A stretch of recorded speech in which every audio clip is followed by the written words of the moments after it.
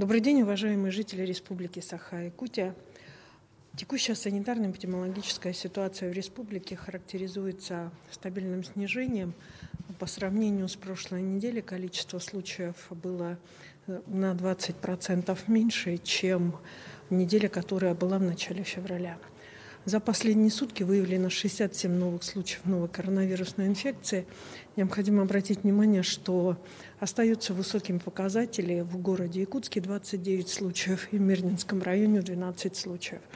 Необходимо также обратить внимание на такие районы, как Тампонский, Усьмайский, Аймиконский, в котором продолжает на настоящий момент выявляться большое количество случаев, и, соответственно, значит, а, их а, оперативные штабы, учреждения здравоохранения и а, Роспотребнадзор работают над локализацией возникших значит, контактов, на, над локализацией возникших проблем. В семи районах у нас зарегистрировано от 1 до 5 случаев. За сутки проведено 1087 исследований на новую коронавирусную инфекцию.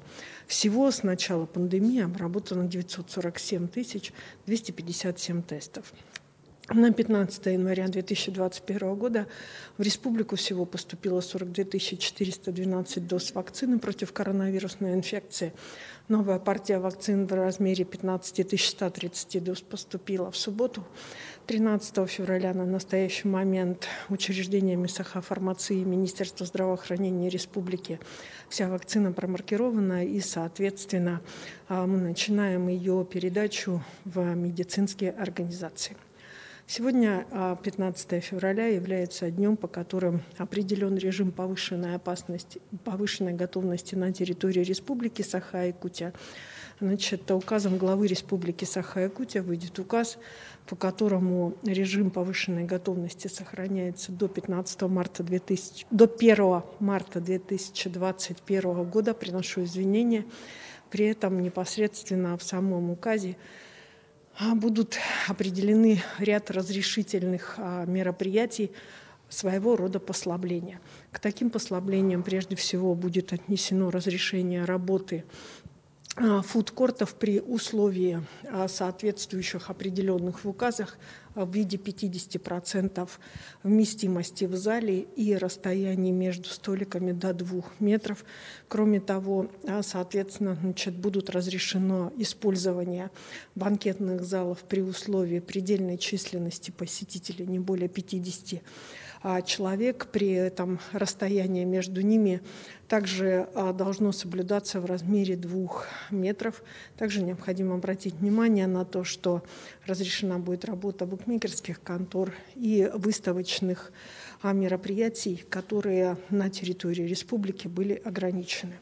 Кроме того, снимаются ограничения по режиму работы предприятий общественного питания, которые были установлены у нас в марте 2020 года. И вообще режим предприятий общественного питания возвращается в свой обычный доковидный режим. Однако при всех этих ограничениях, при всех этих послаблениях необходимо обратить внимание, что на настоящий момент в республике остается меры, необходимые для самоизоляции для граждан пожилого возраста старше 65 лет и лиц с хроническими заболеваниями остается масочный режим, режим соблюдения социальной дистанции, а также непосредственно не снят режим нахождения на удаленной работе более 50% от численного состава учреждений и организаций.